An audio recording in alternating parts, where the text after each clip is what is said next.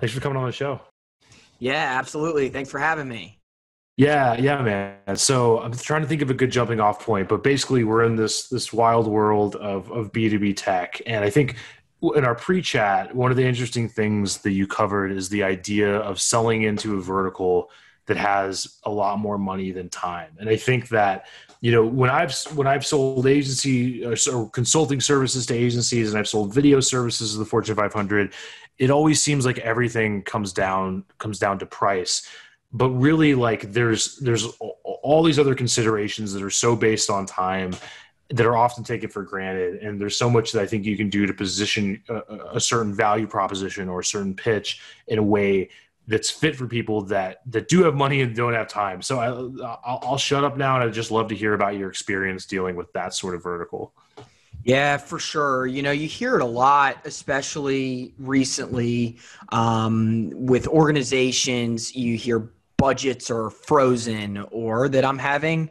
budget cuts, but that doesn't necessarily mean that people aren't still spending money, um, especially at B2B tech companies. I mean, these, these companies aren't just completely shutting off everything. They're go- they're going to lose to their competitors if they do. They have investment boards that understand that those investment boards may be a little more frugal with where they're going to spend their money, um, but they need to spend money.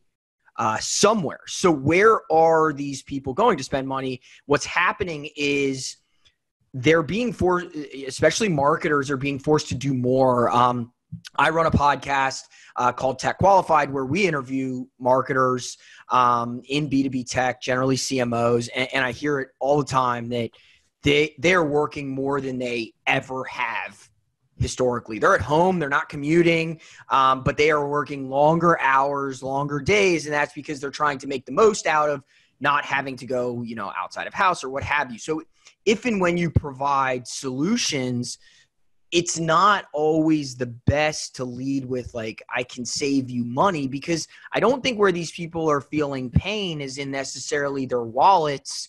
It's in their time. They've got a lot of times kids at home uh, who may be either not going to daycares or not going to schools yet or what have you. Um, and then on top of that, you pile on more work than ever before because they had to pivot from what their 2020 strategy was going to be into an overnight change and overhaul of either lots of things or everything.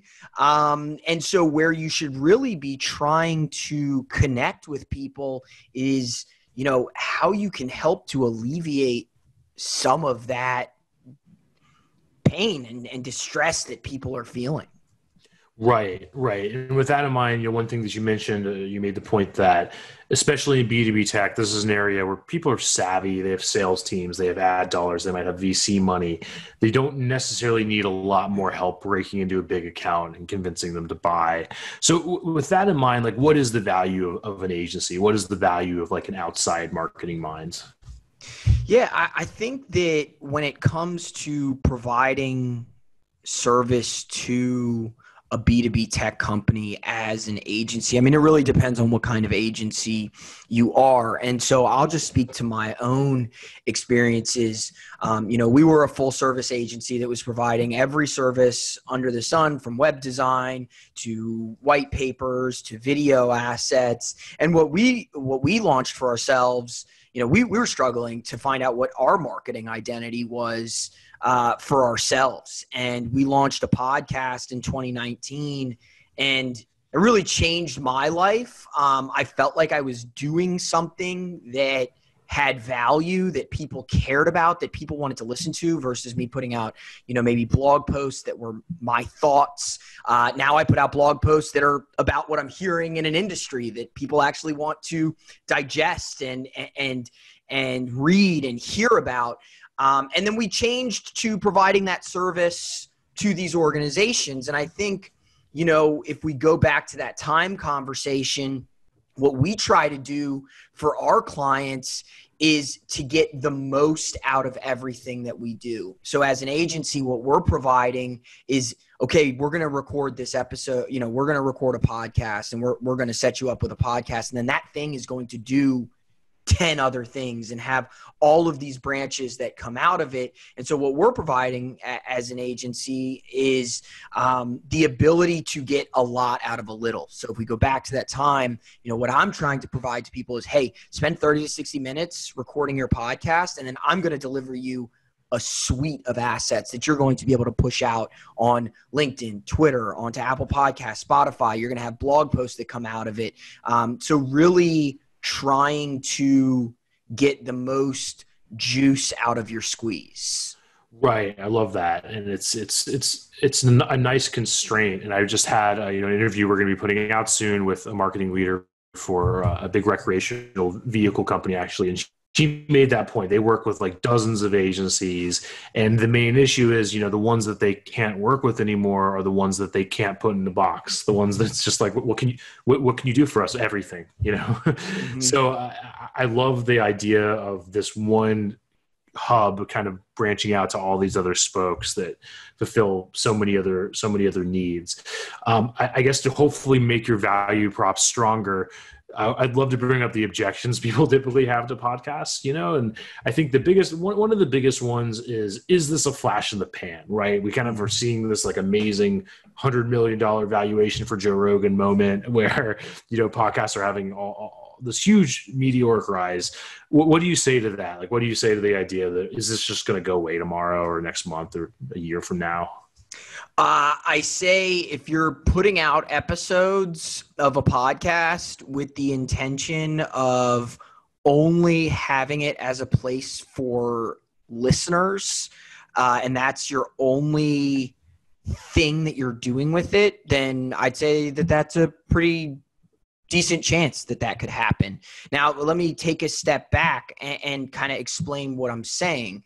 Um, what I'm saying is that people can find new ways to consume content all the time. Uh, we are firm believers that your podcast should not just be a 30 minute audio that lives on Apple Podcasts. What won't go away are genuine interactions with people in your space. You look at Dan and me right now, getting to know each other, have conversations, uh, especially at a time where, you know, Dan and I might you know, you, you and I, Dan, might, and I'm speaking to the audience, but you and I might find ourselves meeting at a conference in, in more normal times. Uh, we would probably be attending similar things. That doesn't happen right now.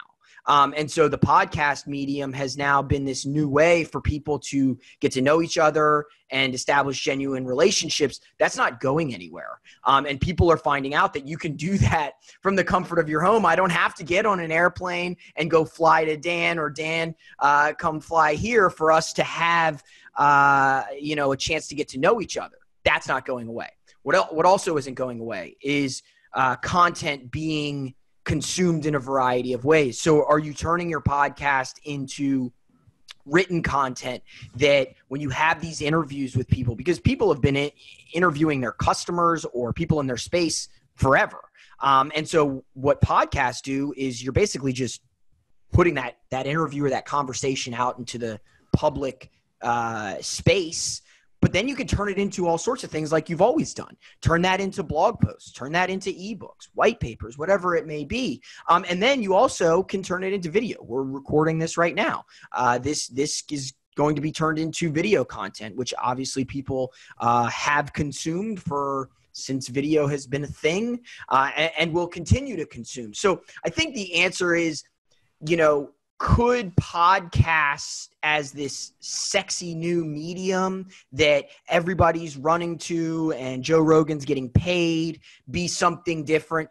Okay, let's just use VR as an example. Let's say VR becomes super easy for the modern man and woman to be able to produce, and that becomes the next new thing.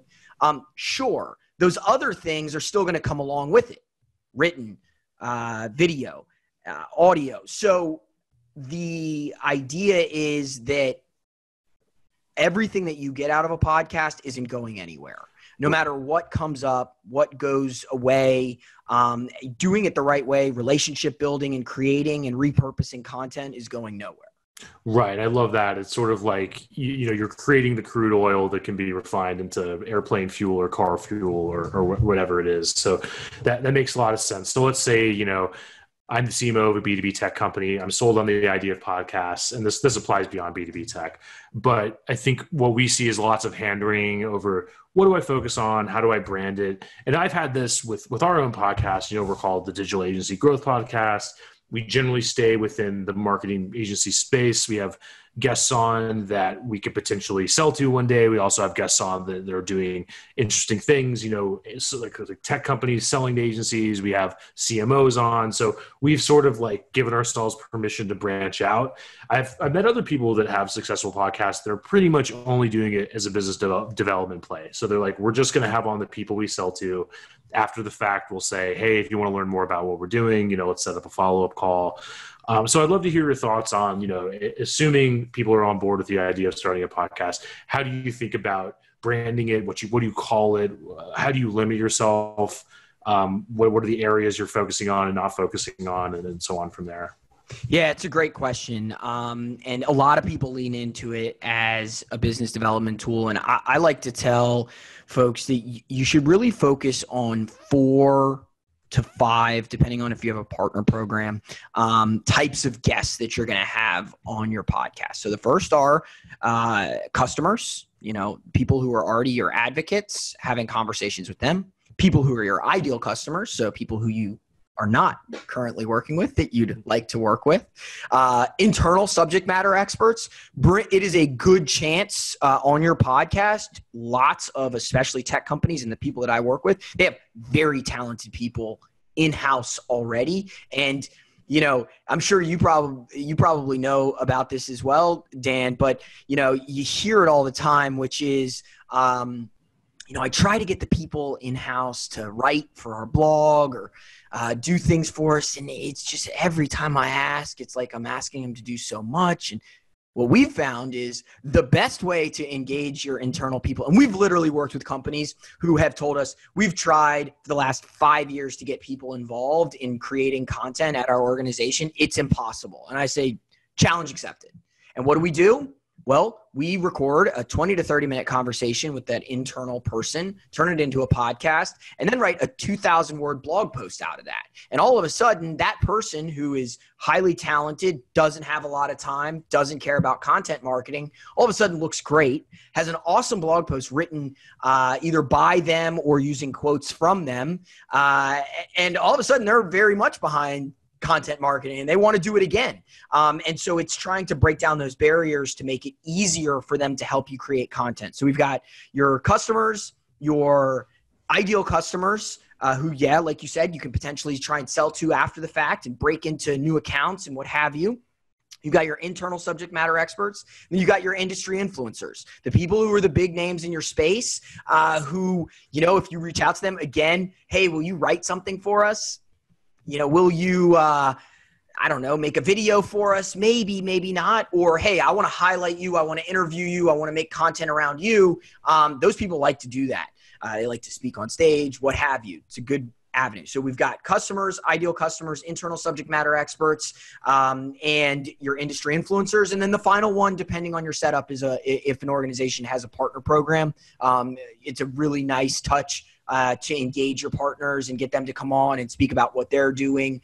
Um, you know, I, I have a client who recently was like, yeah, we just brought on this new partner and it's exciting. And there was a press release. I was like, great. So when are they going to be on the podcast? And the answer was, oh, hadn't even thought about that. And, and yeah, yeah, people don't think about all of the different things that you can get with a podcast. It always seems to be, and you, you talked about, you know, kind of, you didn't use the term ROI, but people are wondering what do they get out of it. And it's like people only see podcasting to this point through very narrow lenses because right. it's new and people don't know about it. Yeah. Yeah. I, I love that. And I, I just, sort of had a forehead slapping moment when you mentioned you know internal subject matter experts because we haven't done enough to get on get our team on the podcast right? And there's we have so many people doing interesting things with with really interesting expertise but it's just so far been me and the and external guests you know? So i think that that's like a no-brainer win win right there. Um, and i think you know you make a good point that it's like the podcast sort of just becomes its own force of nature and then creates ROI probably in other places like external of it. Um, but, but I guess with that in mind, you know, what is it like is it is there anything that's measurable? And if so like what is what is reasonable to aim for if you're launching a new podcast? Like what should you be keeping a track keeping track of?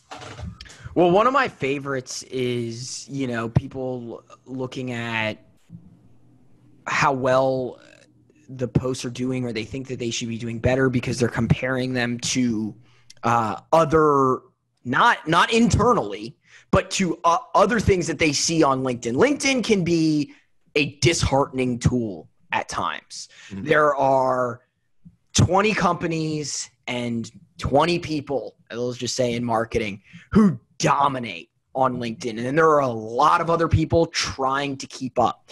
Instead of comparing yourself to those other organizations, compare yourself to yourself.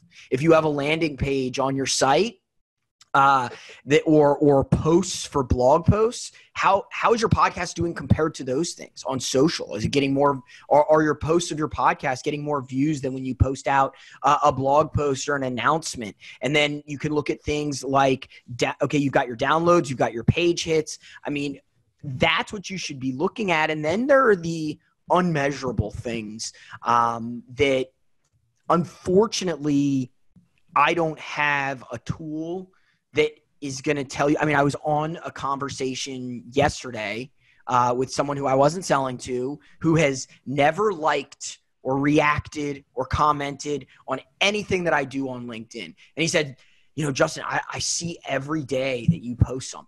It's awesome. Like, I don't know how you're always getting content out, but it's really impressive. I have no data anywhere to tell me that that person is consuming my content, but I know that it's happening. There are so many people who are just um, passive viewers on LinkedIn that it's never going to show up in any report. It's never going to show up anywhere, but you're consistently positioning yourself as a thought leader and people are consuming those things. And that happens to me all the time. Yeah. I'll get a message on LinkedIn. Hey, JB, uh, you're really crushing it. On you know, I'm seeing you post every day. Keep up the good work. Again, another person who has never liked or commented on anything. Yeah, I, I, totally agree, and I, I think there is a lot, a lot of these sort of like fooled by randomness dynamics where it's like, okay, I'm going to look at this arbitrary metric and see that it went up or down, and then decide that our thing was successful. And then lo and behold, a year later, you get you know a new piece of business because they're like, yeah, I heard you on this podcast and yep. yeah, it just happens like in these unpredictable ways. So I, I do agree that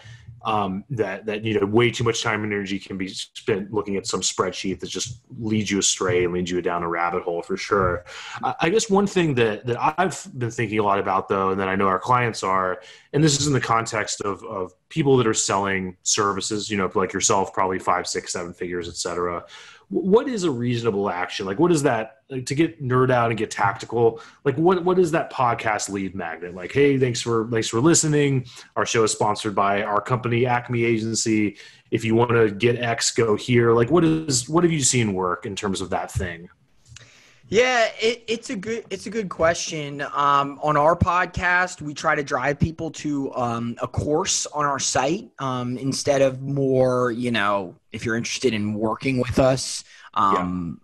Let us know because I don't think that people are coming for that. I think what you're trying to do with the podcast is just get people to have some brand awareness for you and you need to be doing other things with it. Again posting it on social. We have um, our, our, newsletter i've never had a newsletter that anyone's ever cared about in my life. I, have worked i've worked and owned an agency. I worked at an agency before that. Um, and i worked at a, a services company in b2b tech before that so i've never had i've thought i had something to say but nobody ever else ever cared that I had something to say. And then I started this podcast, and now I have a newsletter, um, and my newsletter crushes it. It's all text. We have design in house. We like it just being all text. Hey, here are 10 episodes that we did. Let us know what you think. We have our biggest download days. We have our um, we get responses to it we get recommendations of other speakers that are going to come on and that's how i know that the podcast is working having calls to action of you know running an ad basically for yourself. We do it just so people continue to hear our name. Um, but again, it's having your priorities in intact. If you want it for business development, use it as a way to break into target accounts, to bring on prospects um, that are within your you know your targeted accounts list onto your podcast. Um, and then there's all sorts of things you can do depending on how tactical you want to get. You can run retargeting ads um, of people that you want to be working with back to uh, back to your podcast and getting them to continue to engage with you. I don't think that it is something that somebody is going to listen to your podcast and then at the end of it sign up to work with you um, or submit a contact form. And I think that that's also a common misconception.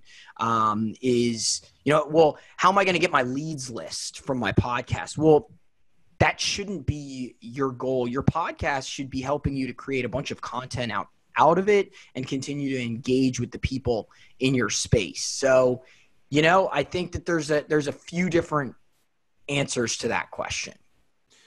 Yeah, I, I, think it's sort of uh, the, the hub of the wheel, and it, it does you know more than, than the sum of its parts, which, which makes a lot of sense. Um, to shift gears a little bit, one thing we've talked about is the idea of specialization, which is you know uh, a, a nonstop topic for for for us, and I think lots of agencies are either in the process specializing or are tired of getting kind of beaten over the head with it. Um, I think that there's there's a lot of hand wringing and fear, you know, uh, along the lines of if we focus on a particular vertical or a particular set of service or, or one service or both, you know, we're going to alienate our legacy clients. So a little bit about this. I'd love to hear your experience with with specializing. We refuse we refused to specialize for a long time. Um, for that very reason, we worked with nonprofits, we worked with associations, we worked with tech companies, we worked with healthcare companies, and we've seen two things since we have specialized. The first thing that we've seen since we've specialized is that those legacy accounts haven't gone anywhere. Um, as much as you think that everybody's going to your website all the time, they're not. They're if they're looking to speak with you, they're going to go in and they're already your customer or you've worked together in the past. They're not going to your website. They're going to go into their email and they're going to type your name or your company and then they're going to send you an email and say they want to work together again, so on and so forth. And if they do go look at your website, you say, yeah, you know, we've we've tried to hone in on this one vertical where we've done really well. Um, but we have not not one client in those other spaces has even asked us about our rebrand um, that's been launched uh, since we decided to really lean into B2B tech uh, as our space um, at the beginning of 2020. Uh, I don't think I've had one of those legacy clients come to me and say, "Hey, Justin, you know, are you still working with associations? Are you, you know, are you, do you still want to work with us?" And I'm like, "Of course I do." Um, we haven't stopped offering the services that that you know you're looking for, um, and we've done good work in the past. They're not going to change because of that reason.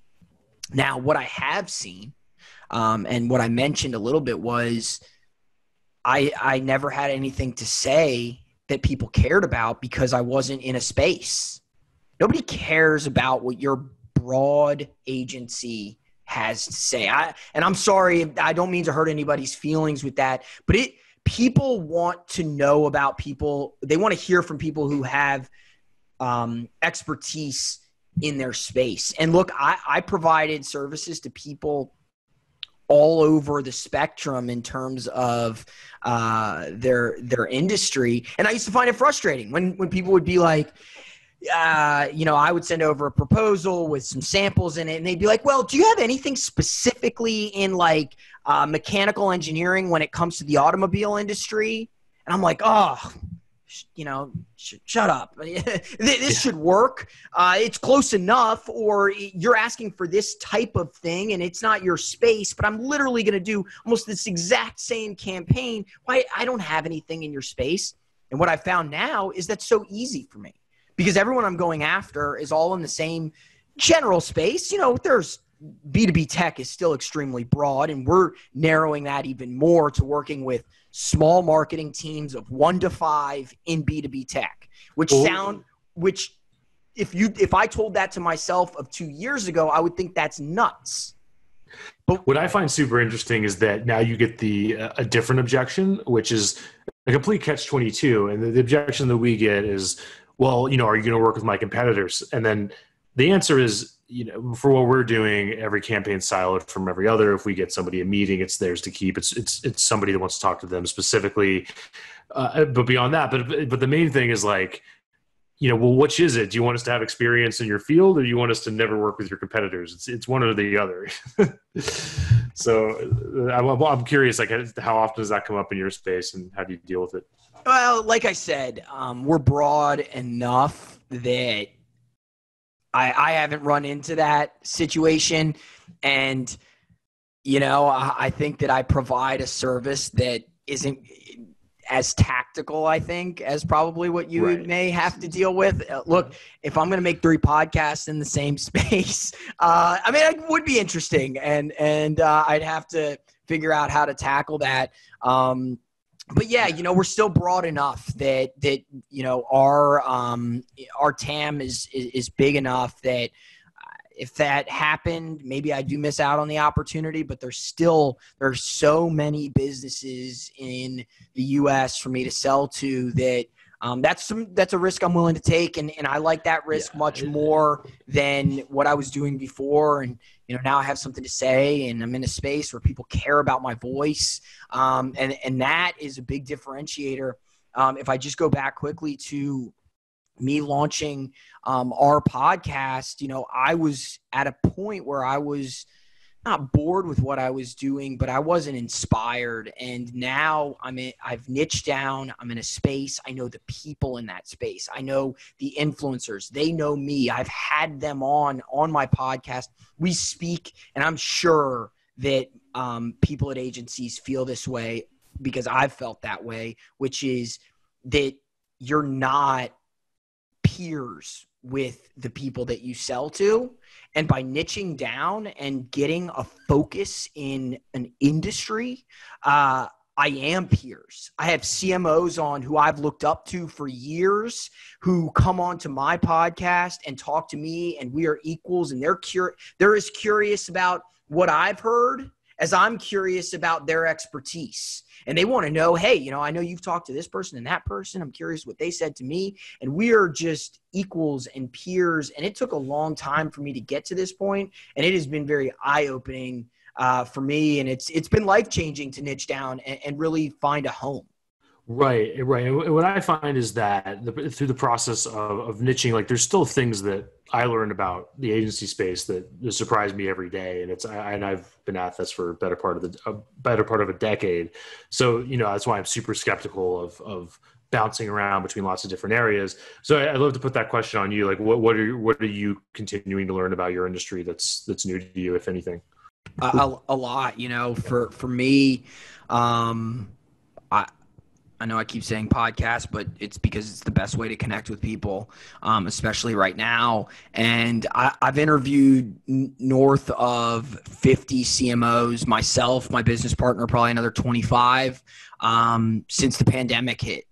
And so we I've I was having conversations with people uh, as it was as you know it was new, and then I was literally mid record on an episode when uh, a company's sent out an email saying everybody needs to leave the the office now. I've watched how businesses have shifted from having 100 to 500 people coming to an office every day to going fully remote. I've talked to organizations that are the organizations that are making that happen, who, you know, they empower remote workforces. And I've had them on to talk about. So, what I've experienced is that I get a, a, real pulse on my space at all times by having this kind of media ability to almost report on my space. Um, and, and that has been, I mean, it's been, it's been wild over the last five to six months. Um, yeah. And the way that podcasts have played out, I'm going to get kind of conceptual, but there's a great, you know Nassim Taleb uh, observation where he talks about just innovations, and one of them is the like a roller duffel. Like like we had you know we had uh, uh, suitcases, we had bags for millennia, we had the wheel since the beginning of time, but it wasn't until like whatever 60s, 70s, 80s that somebody thought to put a wheel on a bag, and now you don't have to carry this bag through an airport, and it's this huge innovation. I feel like podcasts are a little bit like that, where we had the internet for a long time, and we had you know human communication through voice since the beginning of time. That's how stories were told. That's how we communicated until the printing press, which was pretty recently in the grand scheme of things. So it's only now that we've sort of been able to like channel the original form of communication, the original medium, you know, th- through the internet. So that's why I love, you know, what, what you guys are doing and the idea of like, you know, th- that huge objection, like we can never get people internally to create content for us. And it's like, oh the whole the whole time it was just a problem with writing. Like writing is kind of this weird specialized thing that like not very many people are good at you know? And it's hard. Uh, and all we had to do was just switch the medium and now it's relatively easy for people to communicate.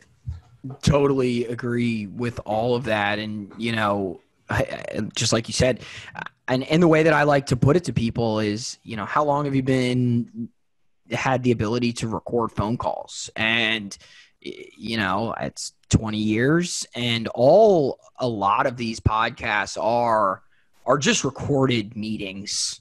I mean that's what it that's what it is. Um, the amount of times i'm in a meeting that i'm and because I now live in this space that I'm thinking, man, this would have been a good episode. Um, because Pete, what you don't realize is that in your meetings, and I'm not telling you to go share all your secrets, but in your meetings, you're talking about your space. You're solving problems in your space in real time, and other people would have loved to have heard what it is that you're saying. And you can get your internal subject matter experts into meetings all the time.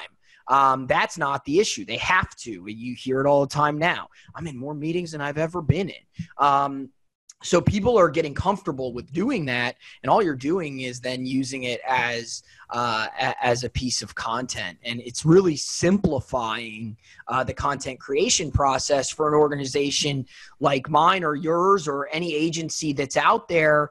Um, instead of saying, "Hey, can you get someone to write something for me?" and they're like, I mean, you might as well ask them to climb Everest. You're like getting our CEO to sit down for three hours and write something that he or she is proud of, because there's also that that goes into it as well, which is it's not just them writing it. For, the, for it to go out, they need to feel like they're they're going to want research. It's, it may not even take three hours. It may take 10 hours, may take a quarter. I don't know. Um, versus just having a 30 minute conversation with your CEO where he or she is saying the things that they always say. And then when you write it out of what you recorded from them saying, they're like, this is, this is awesome.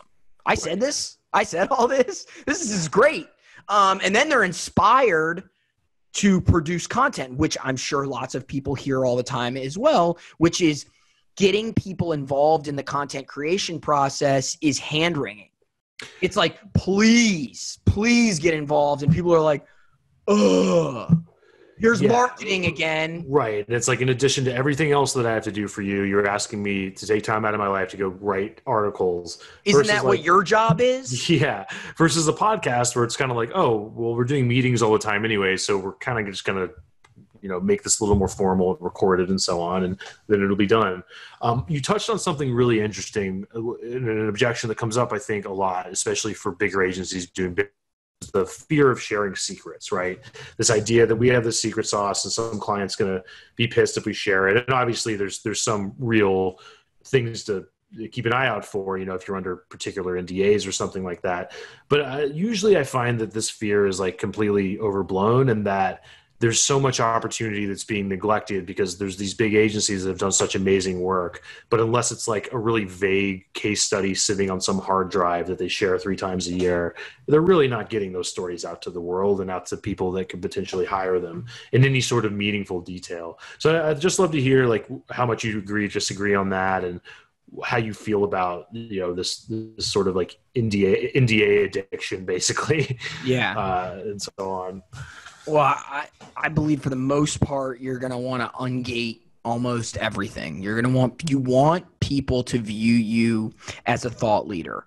Um, here's what I could say to that a little bit. I mean, the the bigger and badder that you are as an organization, The more you can gate, the more you can hide because people know you're you're big time.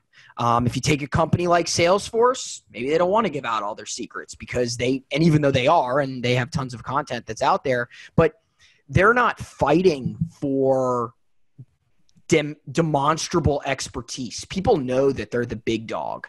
Um, now, if you're a small company who's a CRM company who's trying to get your foot on the map and you feel like you're a little bit different and you think, I'm not going to tell my secrets nobody is going to believe you that you're that you're going to put up a fight to salesforce. You need to show people what you're thinking and how you've arrived at things and know that what you provide as a business someone can't just take your idea and replicate it. And if they can then maybe your idea isn't that good.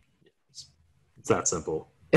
Uh, if somebody can listen to a 20 minute podcast or read a white paper or um, read a blog post and steal your business from that, then maybe you need to rethink your business because yeah, I just don't believe that the amount of work that goes into what you've done as an organization is that simple that somebody can just take it. I'll tell everybody how I produce podcasts, what tools I use, uh, how we get guests. I'll tell yeah. you everything. And I believe that no one will be able to do it the way that I do it because there, I've put in the sweat equity, the time, the effort, the energy to get to this point. So right. I want people to know that. I want people to know what I've done, what I've found, how I found it, and then to say, man, I want to work with you because of that because I'm not Salesforce. People don't know. I'm not a household name. So I need to earn it. And the way I earn it is by telling uh, as much as I can, trying to empower and educate. And then hopefully people say, well, you know what? This information's great. And now I want to work with you. Right, exactly. And also, you know, both of us are in a service business that's constantly changing and emerging. So, you know, we, we get lots of questions on the tools that we're using, and we're like, yeah, we'll tell you. It'll probably be something different tomorrow, you know, based on what we're finding to work well. So, uh, so that that makes a lot that makes a lot of sense. And I guess like I remember being in sort of more of like a tech focused area, probably like 10 or 15 years ago before I started this company now. And the number of, of NDA requests I would get to sign were, were just massive. And I think that's like a good measure of how much people are, are, are come around to the way of thinking that you've just described. Have you seen the the NDAs you're forced to sign go up, go down, remain static? Like, what does that? How, how does that look to you? Yeah, well, since pivoting to B2B tech, I, I, haven't seen nearly as many NDAs as I saw with nonprofits and government type entities or government contractors. You're from the DC area, as am I. You know. I've worked with tons of organizations. We've got cyber companies out here, and, and I get it. Um, but a lot of times, and one of the reasons that I have pivoted to the space that I'm in is that these people get marketing. They, they get modern content marketing, which is you need to educate your buyers. They, they need to they need to read your content, listen to your content, watch your content, and get more educated on what you offer. And if you provide them I, literally if somebody came to me and said justin i want to start a podcast and i don't want to pay you for it and i want to start it myself i would tell them every single tool that i use. And that's the way a lot of my clients are. And that's the way a lot of people in marketing and b2b tech selfishly because it's my space i think that they're some of the smartest and brightest marketers out there um, that, that they feel that way. Everybody's out there trying to help each other. I'm in a um, Slack group called Re- Rev Genius, where nobody's allowed it's all revenue driving individuals. Um, so you've got marketing sales and rev ops. Um, and nobody's allowed to sell in there. We sure we may sell to each other on the sides and that's how we get to know each other and meet each other but everybody's in there just helping each other and trying to educate each other. And if i can help someone to stand up a podcast with my education and just saying this is how you do it and they have a good experience, they're going to tell people that I did that. And that's how they all operate too. I see it all the time. People are educating each other on ways to not even have to use my technology or have to use my services uh, because that's where content marketing is heading. And so the answer is, is Do I still see NDAs? Of course. Um, in my space, they're not very prevalent um, unless I'm right. working with a more secure type company. Yeah, yeah, and one thing that you kind of touched on there that I'm thinking a lot about these days is we've both kind of verticalized. So you know we're we're focused on agencies, you guys are focused on B2B tech. So one thing we've we've started doing recently is going wider in terms of what what we offer. You know, if we're a Bass Pro Shop, we're not just going to sell fishing poles. We might also sell whitewater rafting gear or something like that because we've decided not to sell whatever else you know? So for us that's meant educational materials courses people can purchase mm-hmm. like if basically the the whole value chain you know if an agency is not ready to bring us on full time then there's a course or some other offering a training program that can help them do in-house you know what they would hire us to do to some extent. So I, i'd love to hear your thoughts on that. Is that something you guys have thought about? Are there other things you guys are doing in the b2b tech space you know for for different people different stages and so on? Well it's funny we, we went the so we went the opposite direction. And I'm not saying that the direction that you went is wrong because I, I, also like the idea of being able to provide courses and different service offerings and what have you. We and our our sales approach and, and just approach as an organization is we did offer everything. White paper, sure, website redesign, uh, video, what have you. Um, whatever it is, we can do it. Um, and we found that to be a very difficult sales process for us. And, and again, I know that's not what you're offering, but this was our, our journey. And what we've done is we've gone the other direction, which is to productize a service, which is our podcast. We believe that this podcast is the most fundamental piece of your content marketing strategy. So it's an umbrella to everything else that you're going to be doing. And what we end up doing is we get in through the podcast and we still have all of the tools in house. I didn't lay people off because we are moving to podcasts. I still have all the same people. They're doing different jobs or the same jobs, but we're just not marketing ourselves that way. And so what we're doing is we have one in. And our one in is the podcast. And once we're in, we start to get a lay of the land within these organizations and where we can help. Great example we landed a we landed a customer. We worked with them for 90 days. We got their podcast launched and their website uh, w- w- was on a platform that we didn't really that didn't look the best. Um, and so you know we're like hey we can migrate you over to wordpress and uh, do a, it doesn't need to be a complete website overhaul but a redesign and they were like, that's great. You know, how much is that going to cost? And we're like, you know, here's what the pricing is. Here's what we can do. And they're like, this is fantastic. We'd love to do that with you. We are now more ingrained as a partner. We're now their web partner or their web design partner, uh, as well as their podcast partner. And by being your podcast partner, I'm also really your entire content marketing. Uh, so you, you, we come in through a very narrow uh, angle and then branch out once we get in with a lot of different service offerings. So that's been that's been our approach. I'm not saying it's the right approach, but for us, it makes our sales process easier because I'm not yeah. saying, you know, um, what do you want? I'm selling it. I'm like, this is what I'm selling. Do you want that? And they're like, yes, I do want that. And then I get to really identify land and expand kind of situation. Right, I love that. So there's so many great metaphors here. Yeah, I think it's kind of the tip of the spear idea, and uh, I think that that's that could be a natural fit for a lot of our listeners um, who are trying to figure out the right way to specialize and, and position themselves. Is kind of finding that that one service that branches out to, to everything else. So and it goes back is, to yeah. and it goes back to fear, Dan. Yeah. I, I think it goes back. People are afraid to say that I don't service this industry. People are afraid to say that I don't do this job. And what ends up happening is that if you do everything for everybody, you're not a fit for anybody. Yeah, and it takes a lot of uh, discipline and courage, and uh, you know, I've I've been tested there. I think early in the early days, we wavered too much and we took on projects that were outside of our core competency of the agency world. And just two weeks ago, I had something come across my plate, a referral. You know, it was a giant uh, nonprofit organization, and I seriously thought about it. It took putting time into the equation, like waking up the next morning and saying, "You're like, nah, we can't, we can't take this on. It's it's it's too far off course." So I I, I got an. I got an inbound recently from an extremely recognizable brand. Uh, they're not Salesforce, they're not HubSpot, but something along those lines um, of of you being able to recognize the company name. And I, I told him you're not a fit for what we're doing. We work with mar- small marketing teams of one to five people. You are B two B tech, but it's just not really what we do. And I'd rather save you the time, save me the time than going down. There was going to be a presentation to the marketing team, then there was going to be a presentation to the CMO, there was going to be a presentation to the board. I thought we could give it a run. I didn't think we were going to win it, is one. I didn't think we were going to win it because there's going to be someone who works with those types of companies who's going to be able to say, hey, here's our portfolio of us working with you know a billion dollar organization yeah. um, that so i didn't think we were going to win it. And, and and the time that it was going to take was going to be immense.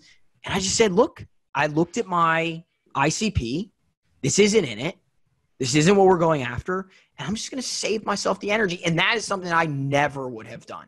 Uh, every opportunity that came in, every contact form that came in, I had the mental, when we offered everything to everybody, it was, I'm going to fight tooth and nail for every single thing. And now I know, I'm like, let's just stay focused on the direction that we're going. And I'm not saying you don't go after things that are outside your space, but it is nice to know what your wheelhouse is.